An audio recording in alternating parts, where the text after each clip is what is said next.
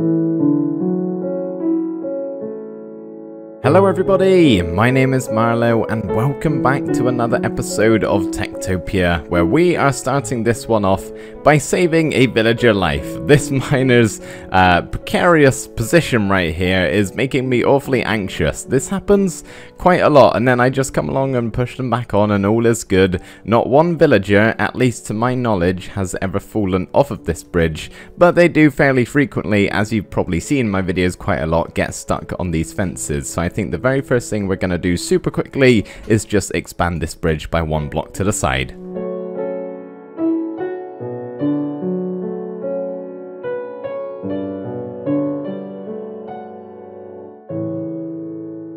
Here comes a test subject now. Can I push this butcher off? I don't think so. I, am pretty sure they have a bigger collision box than I do and they bump into each other a bit easier, but the chef is proving to be a good good uh, tester. But yeah, they seem to be doing well. Hopefully making it a little bit wider will help things out. But what we can always do, if this does continue to be an issue, let's try not hit anybody with my axe. We can just put a fence post on top of this one right here, which will not allow them to actually get on top like you can here. So I'll keep an eye on it, but seeing as this is like the most popular bridge in the village, every single morning and night, I guess, they flood over here from the working area to all of the homes over there. So probably makes sense to be a little bit wider as well. But Guys, we are at an entire stack of episodes. This is number 64, and as always, I just want to say a massive thank you for the continued support you guys show me. It is massively appreciated, and a great big welcome to any new people watching right now. One of my older videos, my Ultimate Tower Survival Base, I say older, not that older, like from a few months ago, it's doing really well at the moment and getting lots and lots of views, being put in lots of people's recommendations. And yeah, lots of people are subscribing every day. And if any of you happen to be new and checking out a TekTopia video, wondering what it's all about, well, thank you for doing so. And basically, the gist of this series is it's a mod created by TangoTek from the Hermitcraft server, where there are uh, improved villagers. As you can see, these guys right here all have their own professions and their own buildings to go to. That right there is a blacksmith, that or is a smithy, sorry, that the blacksmith goes to, I should say. And uh, yeah, the farmer's farm, the miner's mine, so on and so forth. It's really cool. And yeah, we are making custom villages in this series. We are on number four right now. We have a uh, medieval village called uh, forgot the name of it there for a second, a desert village called Asteria, an underground village called the Undergrowth, and then this one right here is Ereduin, our fantasy elven inspired village. So yeah, hopefully you enjoyed this one guys, if this does happen to be your first one, and I think we should maybe try and go save that uh, cleric's life before they die from the zombie because the guards are being a little bit slow. anyway, let's crack on with the episode. I think I'm going to go sleep beforehand because it does get a bit stressful here at night Oh, oh, good morning world, good morning. Let's fly on down and do some building, shall we? So I have quite a few things I would like to get to in this episode here today, and one of them is actually, oh no, farmer taking damage, farmer taking damage, you're burning now from a zombie on fire. Let's go and save you. Please don't die. Oh man, it's so stressful around here, especially in the morning when the zombies, hello creeper, let's fly away, start burning and, oh hello creeper, let's fly away, just had Deja vu there. Some very fast deja vu. Oh, this episode is all over the place already. Anyway, I want to build a couple of homes in this uh, in this episode. I know we built this massive one last time, but I do actually have a couple designs that are pretty cool and I would like to show you. So I think the very first thing we are going to do to kick off this episode is build one of those smaller homes somewhere in this village. I'm not sure where. Maybe we'll put it somewhere in the middle here because it is a bit of an open area.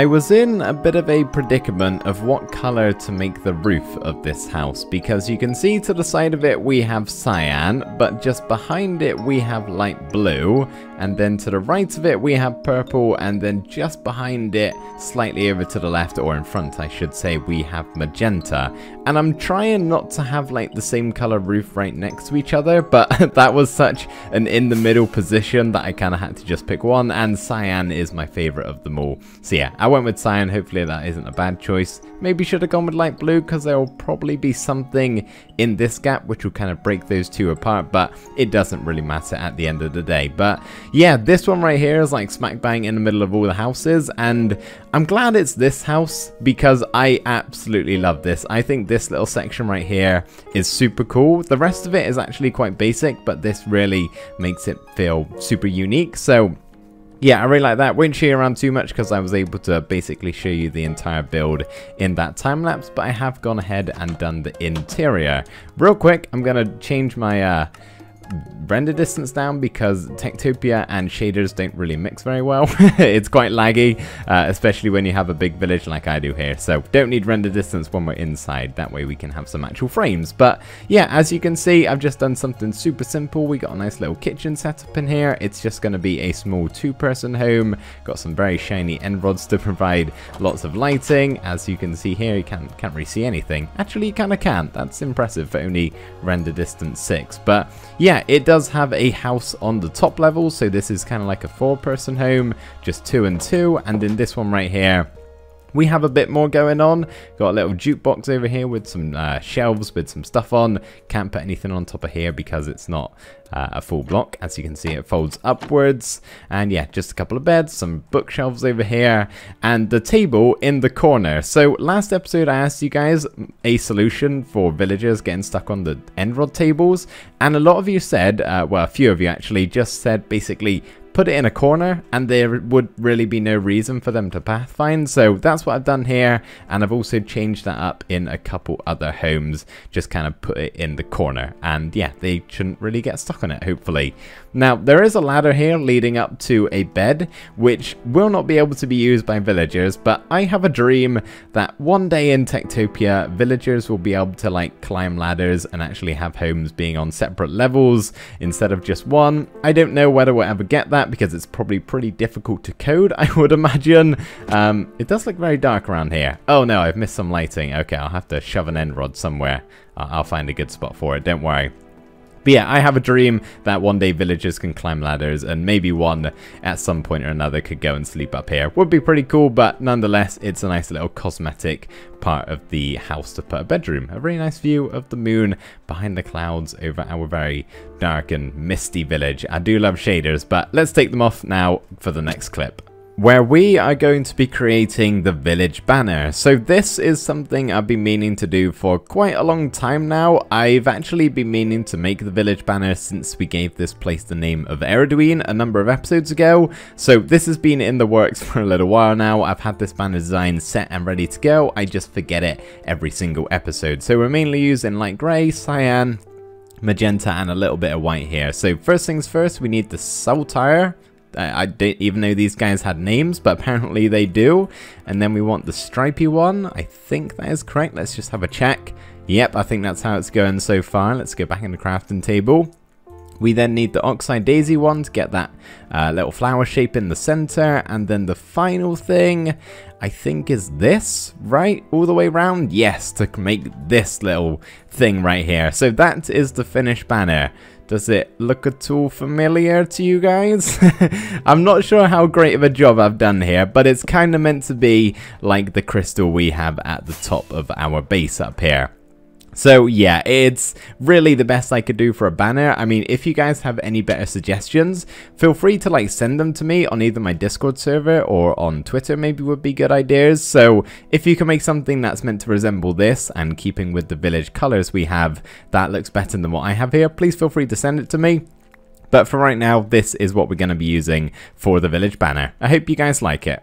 Now, I would like to make some extra copies of this thing, and in case you don't already know, the way that you duplicate a banner, at least in 1.12, it's obviously different in uh, newer versions because of the loom, you basically put a normal color banner, the one on the base of this one, in a crafting bench, and well bam, you get two of them. Trouble is, those require six light grey walls per each one, and I think this is the amount of light grey dye I have, so super quick, I'm going to go on a bit of a squid killing mission, also craft up some bone meal, and just duplicate a bunch of these and then we'll place them around the village.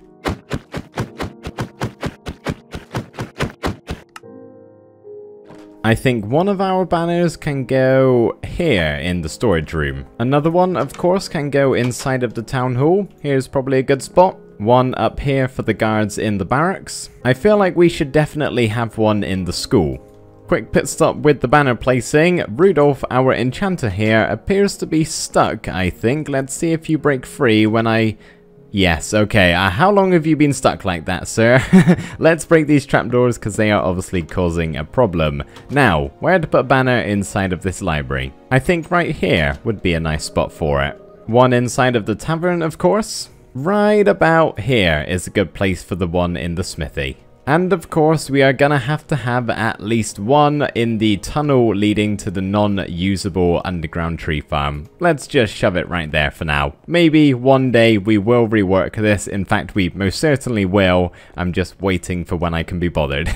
Not right now, though. We will do something with it eventually, don't worry. We now have all of these banners left to place down for future buildings that we end up doing, but for right now I think that's gonna be good. What's not good is these guys right here. Remember last episode I think it was when we had one of our farmers just freeze up in this exact location? I in fact think one of them was you. Y you were the guy who froze. You've apparently found someone else to join you here. Are you starting some sort of cult where you just stand still? I hope not. Fingers crossed it's just a glitch and we're gonna test that right now because I am I'm going to relog into the world right now. Do you move? Fingers crossed you do, otherwise, aha, okay, there we are. So yeah, stuff like this happens all the time, where villagers will get stuck on whether it's end rods, or just freeze in place, or on trapdoors, or various other things, but thankfully, because I record my videos, and I'm often leaving just to restart a time-lapse, or, you know, set replay mode going again, that's what this thing is right here, I leave the world probably I'd say at least twice an hour. So really, it's not too bad of a thing that the villagers freeze up because I'm often just reloading everything so they sort themselves out. But yeah, don't know why that keeps happening. Very strange indeed. In my hands, I have some hearts of children ready to spawn in, because I could probably do with a few more villagers, and there's none really in particular that I want more of. I could probably use a couple more ranchers, actually. Hello, Brianna. Um, is that your name? Just Briner. I'm probably saying it wrong. um, yeah, I could probably use a couple more ranchers because of the whole animals dying thing. If I just show you my chat log here from uh, when we were building the house time lapse, that's what it looked like. so maybe I should make some of these ranchers, but I also kind of want some more farmers and possibly some more lumberjacks because I haven't actually got any of them since the very first villagers we got after the guards. So I'm just going to spawn in one, two, three, four, five, and six children here. They they will grow up. There's plenty of room in this big old house here that we built last episode. And yeah, I'll have a think of what tokens I want to buy them. A zombie is breaking down my door. Hang on a second. I thought I played on normal now. Yeah, that was meant to stop that problem. Did they just not actually break down the door? Can I have a... Wait, which door are you breaking down? No, you are breaking it. Okay, maybe it just doesn't break? I, I don't know. That's very weird. Okay, uh, I'm assuming they just... Oh yeah, you're gonna go... Gonna go try again? Let, let me let me just watch this guy for a minute, and also watch my back for creepers.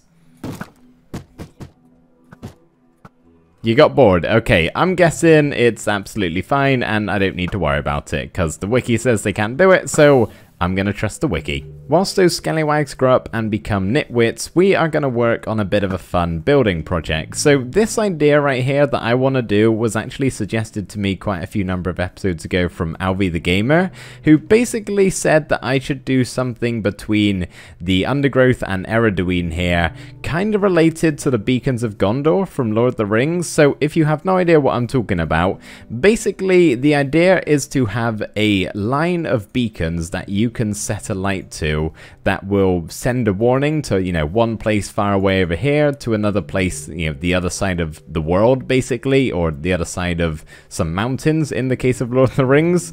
Um, so yeah, you'd have like 12 beacons, let's say. I probably won't do that many, but one would be lit and set a light, and then the next one would be, and so on and so forth, going all the way down the line until the faraway place, the undergrowth, is uh, has their beacon lit and they can see it, and there's a problem, and they need to go and, and help Ereduin over here. That's the kind of idea of it, since the undergrowth is meant to be like a dwarven, and this is a bit elvish, so once again I'm taking more inspiration from Lord of the Rings. I can't help myself, it's just too easy to do that for Minecraft stuff like this.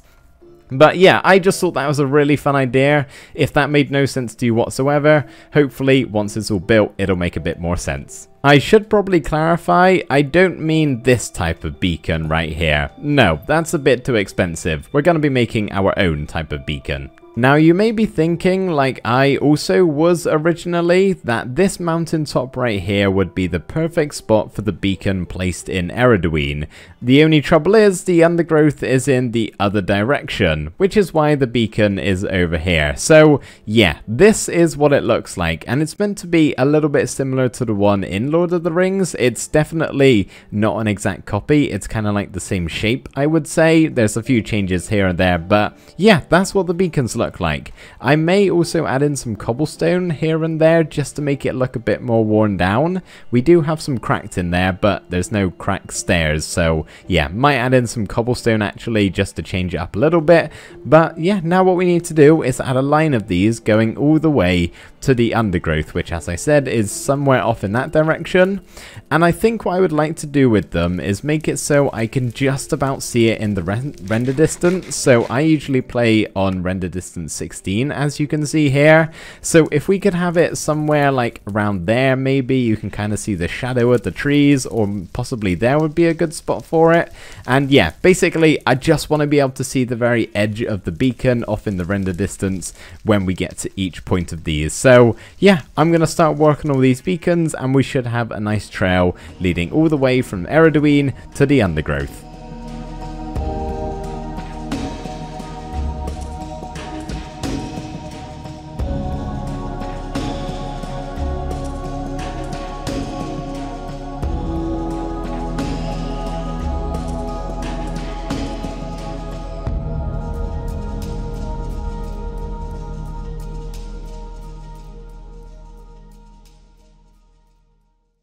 The second beacon over there is probably a little bit too far away, I will admit that, but I could always just increase my render distance by one and it would probably be fine. If I turn to the side here, you can actually see it a lot better because that's how the fog effect works in Minecraft. But yeah, it's nighttime now, so I think we should go take a look at all of these beacons I've set up. So as I said, the first one here is quite far away, a lot further than the others. As you can see, had to do quite a bit of tree clearing around here to actually fit it in. Didn't think it made sense to have this massive flame right beside a bunch of trees, so I've tried to kind of get rid of the ones in the surrounding area, but that one right there, looks awesome, I must say. It, it, really does. And oh, hello, skeleton. You made me jump there. We have this one over here, once again, on a bit of an elevated platform with a brown sheep guarding it. Uh, there are a couple of floating leaves around still that are getting in the way because, yeah, tree chopping, as I said. and then we have the next one over here, which isn't really that elevated.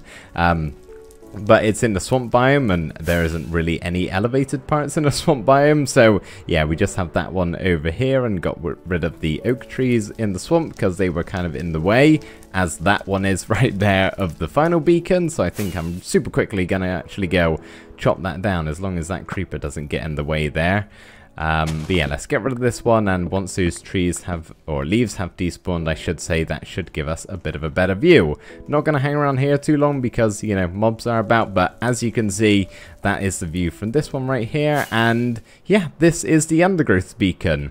I know they can't really see it um, from inside of the ravine here, but I didn't really know where else to put it. I was debating with putting another one up the top there, just at the very highest point of the ravine and kind of connecting those two, but it felt a little bit close, so I'm just going to pretend that they have somebody outside of the ravine kind of watching that uh, every, every so often just to make sure that they know to uh, inform everybody if there's a problem. So yeah, that looks awesome. I think that is a super cool project. Thank you, Alvi, for the suggestion. So in case you're still a little bit confused as to what this is, if you've never seen or read Lord of the Rings, you honestly may have no idea. I'm not very good at explaining things, but here we go. I'll try again. Basically, the gist of this is when either... Oh, there's a creeper right there. when either the Undergrowth or Ereduin are in trouble, they would light the beacons here and then uh, let's just pretend there's somebody manning each of these beacons as we go along here. If the person on this beacon right here, so that one was lit, they would light theirs, and then the person up there would light their beacon, and it just makes this trail all the way along, so that if the undergrowth are in trouble, Ereduin will be informed, and vice versa. So, yeah, I just think that's really cool, and I love how this looks at nighttime, I'll be honest. It does look pretty sweet, and yeah, I, I think we need a name for like the entire area of the undergrowth and uh, because it's kind of like of the same uh, world almost with the elves and the dwarves and if we ever did anything else Lord of the Rings related we could probably even fit Mechlon's Vale into that. I mean it's basically like the human area right? So we kind of need like a whole name of it. So these in Lord of the Rings would be like the beacons of Gondor. We need our TekTopia equivalent. So let me know your name suggestions in the comment below for that. The snow is ever so pretty in this game isn't it Maybe not so much on YouTube for you guys because it does like to kill the quality, same as the rain does. but yeah, I do like the snow. It, really is quite peaceful just to sit here and watch the sun rise over our beautiful village with all of the snow particles falling down and laying on the surface. But anyway, we are not done with today's episode. There are still some other things I would like to do. One of which is to just check on my children and see if they've grown up into nitwits yet. I haven't really been around this area, but I would say five days have passed by, so I'm at, yep, there we go. There's my answer. Alright, sweet, so I'm assuming all of them have grown up now, and they are ready to be given some professions. So let's go grab some emeralds and buy a bunch of stuff. Hello architect, hello tradesman, are you ready to sell me some things? So I think to begin with we're going to buy a bunch of stuff from a tradesman. We have six not druids, six nitwits correct, so I want four of them to be farmers. I know we need a bard, by the way. I'm going to get one of them soon, just not in this episode. We'll maybe save that for next time. So where are the farmers? Somewhere along here. Uh, I think it's the next one. Nope, next one. There it is. Got there in the end. So uh, is that four, four times seven? Yep, okay, so we want four of them, one for each crop type. Bim bam bosh, there we go. And then we will get ourselves, I think, one extra lumberjack if I can find the token. I'm having a hard time with this apparently today. We'll get ourselves one lumberjack and then I think we'll also get one more rancher because of the animal crisis currently going on. Hopefully that helps things out a little bit. And then from the architect, we of course need the two two-person homes to go in the house we built earlier on. Let's just get uh, two of them right there. And then now we are also going to be building a four-person home. So we may as well go ahead and buy the token for that too. Still leaving us with a great whopping 43 emeralds. Oh Maria, why on earth are you pathfinding into the corner? what is there for you in this spot right here? Why do you have to walk there? Oh, someone's been blessed, or you have been blessed, I think. I don't know who by. An invisible cleric, apparently, but there you go. You're now a farmer. Gonna change where you want to walk? Nope, still feel like walking into the end rod. Okay, fair enough. Well, I can replace that for you. Okay, so those are all of the tokens handed out. Let's very quickly just go ahead and place down the two two-person homes and make this valid. That didn't shine up for a second then. Scares me every time, but there's the downstairs and let's quickly hop on upstairs. Seeing as this is only two villagers up here, there shouldn't be that much of a problem with the thin staircase up here. So nothing to worry about. Did my bed change? Nope. my hopes and dreams have been crushed crashed. But yeah, I think now what we're going to do super quickly is just build up this other four person home that I said about in the start of the video I wanted to show you guys. But before that, as always, I gotta find a spot for it first. And replay mod crashed once again, but it's okay, I was only planning on a short 10 to 15 second time lapse, so we haven't missed out on too much. But this right here is the house, and it's definitely one of the shorter houses, one of the ones with not a very tall roof. It's a little chubby looking, kind of, but I think it looks pretty good. But yeah, let's just take a quick flight on down, or walk down, I guess. We'll go across this big old bridge now that we've got, and go check it out a bit closer up. So yeah, as there's no time lapse, let me just do a quick walk around around and show you guys what it looks like. We got a bit of a dip in the roof, which is something a bit different that I've done not done before, which I kind of like the look of. Uh, here's round the back. Hopefully you don't get stuck on the flower pots. Nope, you're all good. Um, and then, yeah, the other side is completely the same. And the interior is very, very basic. So this is a four-person home, and there are 49 spaces inside of here to place things down, and a four-person home requires 48. So really, this was the only non-villager item, like a chair or a bed, that I could place down. So yeah, it's pretty basic in here, but as long as it looks good from the outside, I think that is the main thing that counts. So yeah, there's another home. We have so many spare beds now in this village. We can get so many more villagers whenever I need it, which is just great. Something that I don't uh, have to worry about, which is wonderful. But that, everybody, is going to do it for today's episode. I really hope you did enjoy. Thank you so much for watching, and I'll see you next time. Bye for now.